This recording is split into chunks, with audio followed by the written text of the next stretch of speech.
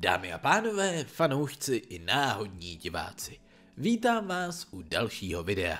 Svět okolo nás je plný kouzel, nebo minimálně to tak může vypadat, když jste třeba dítě. Určitě jste měli svoji oblíbenou pohádku, kterou vám rodiče četli.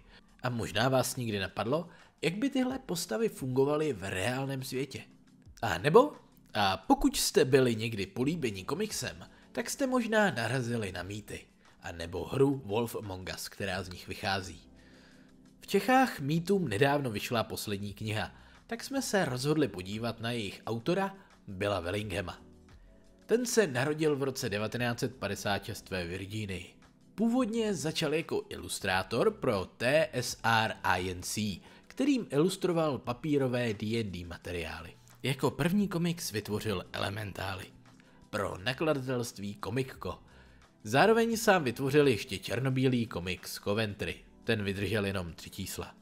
V osmdesátkách taky produkoval pornokomiks jménem Ironwood pro Eros Comics.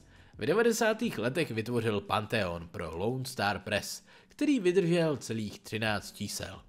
V té době napsal taky sérii krátkých novel o Beowulfovi.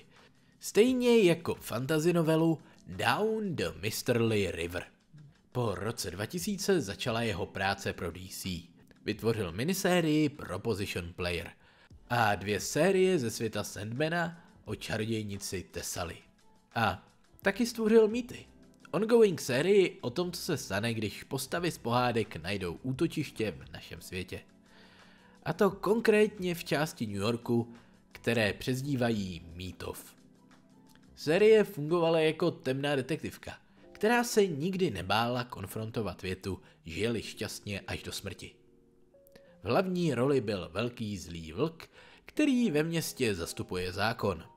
Jeho parťákem je Sněhurka, která zastupuje samozprávu Mítova. Dál tu máme klasické figury jako Pinokio, tři slepé myšky, anebo zlý modrovous. Většina těchto postav se snaží žít v míru a oprostit se od minulosti – a rolí, které měli ve svých příbězích. Jedná se o kultovní sérii, která málem dostala i seriálovou adaptaci. Ovšem, čím víc se přibližovala k realizaci, tím víc všem docházelo, že nemá s předlohou nic společného. A tak byla přejmenovaná. A tak vznikl seriál Once Upon a Time. A stejně jako předloha, i tenhle seriál se stal hitem. Nasledovala herní adaptace jménem Wolf Among Us. Tu sice Bill Willingham nemá rád, ale stejně jako komiks, seriál získal silnou fanouškovskou základnu a někdo dokonce tvrdí, že je hra lepší než původní komiks. Není divu, že fanoušci stále napjatě čekají na pokračování hry, ať to je už víc jak 10 let od té původní.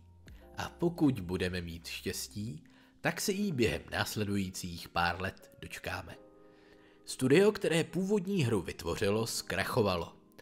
A pak bylo znovu obnoveno a teď je znova ve finančních potížích. Ale Wolf Among Us 2 má venku dva trailery, tak můžeme doufat, že se hry snad konečně dočkáme.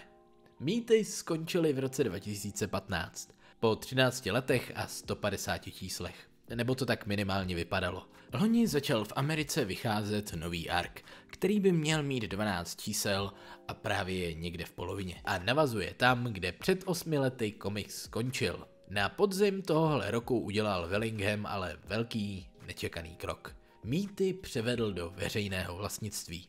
Měl k tomu několik důvodů, které vyjádřil ve svém newsletteru ale asi nejsilnějším bylo, že věřil, že ve světě je dost lidí, kteří dokážou psát dobré příběhy a mohou k tomu legálně využít jeho postavy. DC se vůči kroku vyhradilo a tvrdí, že jsou to stále jejich postavy a samozřejmě jsou připraveni zažalovat kohokoliv, kdo se pokusí vydat vlastní mýty – Ač na ně možná nemají právo, tak pod sebou mají spoustu právníků a možnost vleklého soudu odradí velkou část potenciálních autorů. A teď už k dalším Willinghamovým komiksům.